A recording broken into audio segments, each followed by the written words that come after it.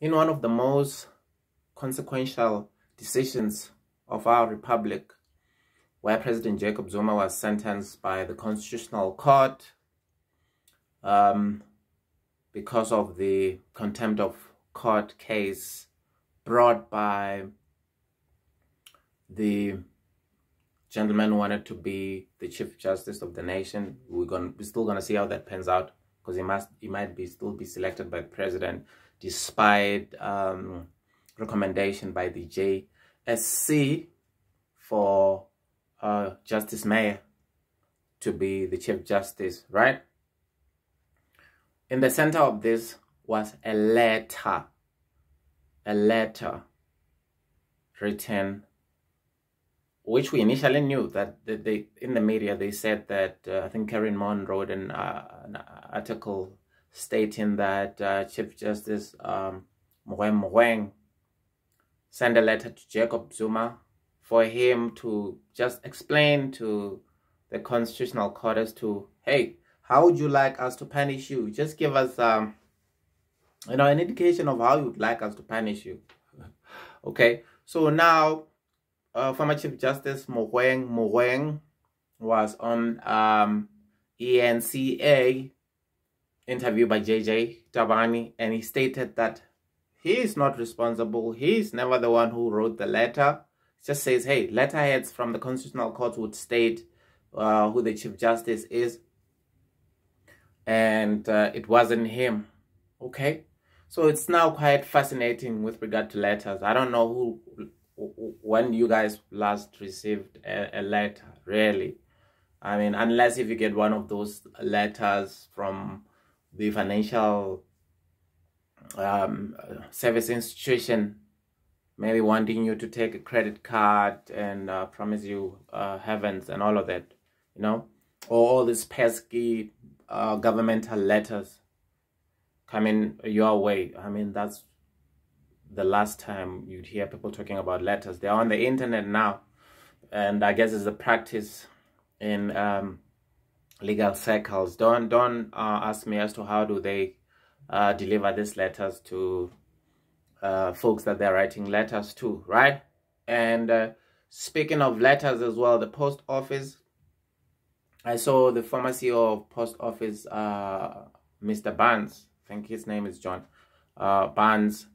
Um, talking about how he want to get a consortium that would then maybe have a major shareholding in the, to the South African post office, talking about essentially the, the mining of the data of the post office. I mean, it has all the addresses of everyone in the republic. There's post bank thing going on, the SASSA, and uh, a whole lot of uh, activity that are happening at the post office that if it could be managed well, there could be a whole lot of money be made out of the post office. But anyway, so here we are. Former President Jacob Zuma wrote a letter. He responded to the Constitutional Court. Well, we still have to find out as to who wrote that letter now. Okay? So President Jacob Zuma responded to that letter and the curious thing about all this uh, exchanging of letters, you would think that after President Jacob Zuma writing a letter responding to, to we'll just say, uh, acting Chief Justice Khampepe in, in, in, in, in, in, in this instance, because we don't know who until we find out. You would think that uh, after President, uh, former President Jacob Zuma writing letter to uh, Judge Khampepe, then the judge would then write back to President Jacob Zuma saying, hey, okay, you have stated that hey, you don't want to entertain the so-called Zondo Commission because of this reason that you've given. And um, here's what we're doing. But it doesn't happen that way. It's like the, the, the letter is now being replied by all these judges being in the Constitutional Court stating that um, former President Jacob Zuma now is guilty of contempt of court and he is then to be sentenced to jail. I think it was for 15 months, which was something uh, sort of a severe judgment, let alone the fact that uh, even even though the constitutional court judges essentially went against the constitution, which state that nobody is to be uh, detained um, and arrested without a trial. Okay, in the in the constitution. And one of the other things, one they wrote a letter. We don't know who now, since uh, our former Chief Justice Mogoeng Mogoeng state that it's not him who wrote the letter. There's where they sent a letter to uh, President Jacob Zuma's lawyer, as well as uh, the friends of the court. I think they call it the amicus curiae and in Latin. And saying, okay, now we also need an explanation with regard to the international laws, you United Nations and International Criminal Court laws, and yes, the United Nations law with regard to a person being uh, detained and arrested without going to to to to the court of law. As you know that the Constitution, I don't think there's anyone whom the Constitutional Court has ever sent to jail without them having their day in court.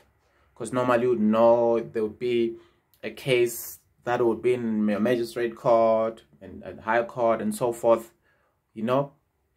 In simple terms, President Jacob Zuma didn't go to court and argue his case with regard to the contempt of court case at the constitutional court at lower uh, courts. And um, I remember uh, um, former, well, Justice Khampepe stating that they, because of the president's stature, uh, as him being a president and number one citizen, I'm just paraphrasing, they had to have a detour. They had to departure from the normal, from the norms. And um, in order to treat the president and um, come up with this decision of him being president. So in simple terms, he was treated different from other citizens. Okay? So I'm just amazed and being surprised that this huge uh, consequential case of a president being sentenced to jail we now know and heard from Chief Justice Mogoeng Mogoeng that he's not the one who wrote the letter to President Jacob Zuma to give an explanation of how, you know, sort of a mitigations of how many months or how would you like to be punished. You know, if you look at it, it also sound kind of special. It's like me being in contempt of court then getting a letter stating that I should explain how I should be punished, I probably I'll just say I, don't want to go to jail. You know, that's just me. You know. So we'll just see how this thing is going to pan out, and uh, the precedent that it has set of somebody being sentenced to jail without having their day in court as per our constitution. And I guess we're going to keep up stock of how many of this uh, law in our constitution would eventually get to the constitutional court and the constitutional court judges um, giving a different view as to what's written in that little booklet of the constitution. So that's just my take. My name is MamoG and thanks for watching the MamoG show and I'm out.